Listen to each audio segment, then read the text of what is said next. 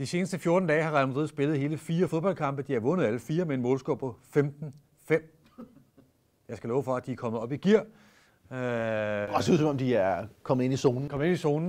Den der forårszone, der giver Champions League-trofæer. Ja, nu har de også, øh, nu har de også BBC øh, klar, ja. alle mand, og fik også alle mand scoret i øvrigt her i, øh, her i weekendens øh, sejr. Ja. Så øh, nu skal de en tur til Espanyol her i en, en, en midtugrunde, en tur op til Barcelona og spille mod Espanyol, som, som ja, de hakker i det i, i øjeblikket.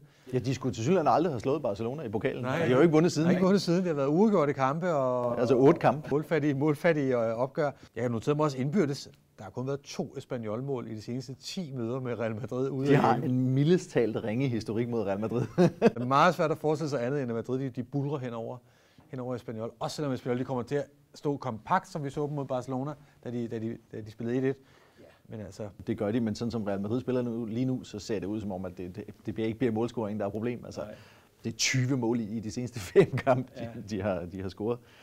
Altså, man kan jo spekulere et eller andet i, at de har så stor forspring ned nu til, til femtepladsen, så deres top 4 placering kommer jo ikke i fare, og de når ikke Barcelona, altså, og de har Paris i næste uge, så hvor meget går de op i sådan en kamp? Men altså, de har vundet 11 gange i træk over Espanyol, der ikke har vundet i, i 7-8 kampe er altså svært at pege på andet end totallet. Ja. Og altså, de seneste fem sejre har de vundet med, med mindst, uh, to, mindst to overskydende mål. Så jeg spiller en Asian handicap på Real Madrid.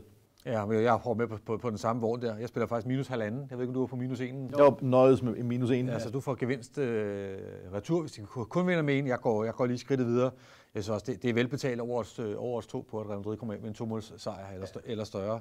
Så, øh, så med tanke på den... Øh, på de mange mål, som de har scoret her de seneste par uger, så tror jeg, at vi får endnu en øh, klar Real Madrid-sejr imod Espanyol.